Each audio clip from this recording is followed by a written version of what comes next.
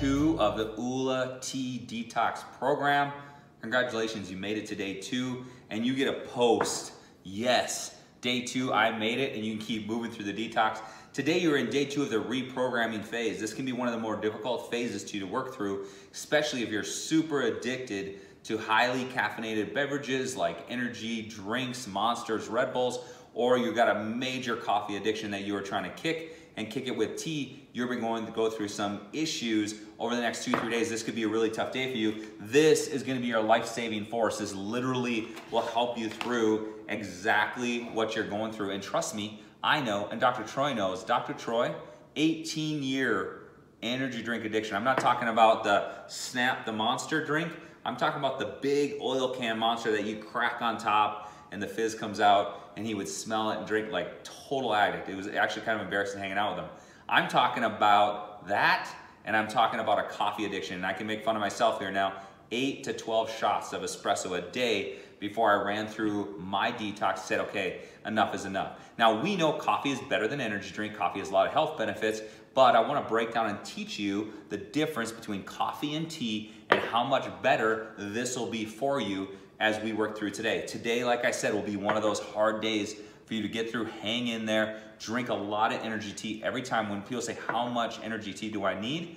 Every time you feel like you're getting symptoms of a headache, you're getting sweats, you're getting blurred vision, get a little natural caffeine from the energy drink. Now, if you are working on purely a sugar detox and not a high caffeine detox from coffee or energy drinks, you might wanna just do one energy tea that day add a little stevia. That's gonna help you out. Or little bits of honey. Honey has a lot of sugar in it as well. It's more of a natural honey, but it still has sugar in it.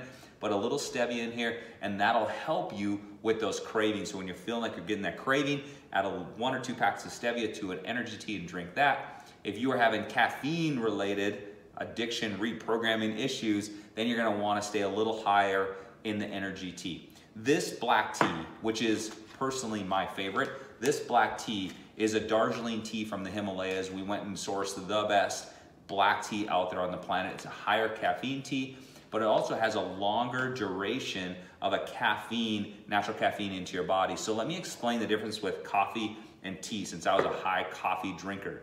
So number one, this is what happened to me on book tour, book signings, Barnes & Noble, Barnes & Noble, radio, TV. It got crazy. Two books out, every Barnes & Noble in the country, airports, book signings everywhere, Costco's, and we're on this 1970s VW bus traveling across the country, collecting dreams, layers and layers of dreams, your dreams to change the world of the word, and going book signing to book signing, radio station to radio station, TV station to TV station. Troy's pounding energy drinks, I'm pounding coffee and espresso. And here is the one thing that happened to me is coffee was a fun thing for me. It was, it was something I enjoyed. I love coffee shops. I love the smell of it, still do today. Um, but it became an issue where I would literally be laying on the floor holding my stomach because I started getting an ulcer. And an ulcer comes from the high acidity levels in coffee, and that's the difference between coffee and tea. When I started researching what to do for an ulcer, this is, we're going back a year, a year and a half, two years ago, when I started researching what do you do for an ulcer, one of the number one things recommended was tea. And I'm like, okay, one of the things you need to get rid of if you have an ulcer or any kind of stomach issues is coffee. One of the things you should switch to is tea. And that got me thinking right away as I started to research more and more of the benefits of tea because I've always been a tea drinker and a coffee drinker, definitely more coffee. And then I started switching to drinking more tea because of the health benefits. There, you can arguably say this is, this is proven over and over that your gut health your gut health, your stomach, and your intestinal health has so much to do with your overall health of your body. If the acidity in here causes ulcers, causes literally start to eat through the lining of your stomach, eat through the lining of your stomach, how healthy can you be? How healthy can your body be? How easily can you absorb the nutrients if your gut health, your intestinal health is all jacked up? This is specifically designed, like God designed this, black tea, He designed that to help with gut health, helps speed up metabolism, help give you that natural caffeine. Caffeine is very, very healthy in low levels as a stimulant to open up your brain, to have you see more clearly, to make you more productive, but there's different levels of caffeine. So the number one thing, if you are a coffee addict, understand the acidity level in coffee and the gut and intestinal health that coffee has or destruction on your body versus tea. So that was easy for me. I started to go, okay, I'm going more towards a black tea. Number two, caffeine. Here's caffeine in a coffee. Boom, and then it drops. You get a caffeine rush, you get the jitters, you get coffee jitters, whatever it is, and then you crash, and then you need another coffee. The amazing part about caffeine and tea, and you'll notice this as you start to work through the peppermint rush tea, the energy tea, is that you'll have sustained energy for longer periods of time. Instead of a spike and a crash, you'll have sustained energy for longer periods of time. When you start to feel, you're not gonna feel a crash, when you start to feel just, man, I could use a little more energy, or I'm starting to get like a slight headache or a little foggy vision, get working on that.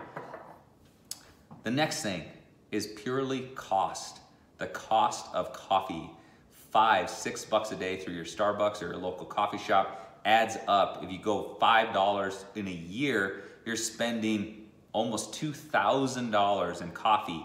So the hidden cost, and for all you sugar addicts out there like myself, the hidden sugar that sits inside coffee. When you go get a latte, when you go get a frappuccino, when you go get a double mocha, caramel, whatever it is, caramel salted, macchiato, there is 30, 50, 60, 70, up to 80 grams of sugar in some of those drinks. Here is how I got through my coffee addiction. Simply this coffee, I mixed it with one, not one to two, one drop of peppermint essential oil. Again, I use Vitality from Young Living, one drop of essential oil in there. And then I would wait, this is a timer, I would wait five minutes, one minute, three minute, five minutes. Give five minutes of your tea to steep, and you can easily do that just with a phone, set a timer, but five minutes will pull out the majority of the caffeine that's in this bag. And then, especially with the peppermint in it, be careful when you start to drink it because they'll start to burn the eyes. But think of the energy that you will get from combining one of the highest quality black teas on the planet, Darjeeling black tea from the Himalayas. You combine that with some peppermint essential oil to support that process. It's gonna help you so much and it'll help you get through today, which is day two. So if you're getting rid of coffee, switching over to tea, do this. One thing that can help you too so much, take this, put a couple packets of stevia in there. If you are a latte fanatic and you are like an iced, like Frappuccino drinker, uh, a couple packets of stevia, put a little milk in there, put a little cream in there. The other thing you can do is I use a high protein, low carb, low sugar milk. I'll put that in there. And also what I'll do is I'll pour this over ice. So you can pour this over ice if you're used to ice drinks. Pour it over ice, put your milk in there first, put your ice in there. Let the tea cool down a little bit. I will make mine, put it in the fridge, go shower, all that stuff. Come out and I'll pour the tea right into the iced milk that I have in my fridge, throw a straw in it, and it becomes your daily little Frappuccino kick, your iced coffee kick. So remember that as a little tip. The affirmation for today, yesterday, I'm designed by God for greatness. Today, I am becoming stronger through the changes. You are becoming stronger through the changes. I am becoming stronger through the changes. Do not give in. Do not surrender. Keep pushing forward and get rid of that coffee, sugar, and junk. And keep letting your body heal itself from the inside out as you work through this reprogramming phase. Until tomorrow, day three of the OolaTea Detox, be grateful, have faith, and go get your life.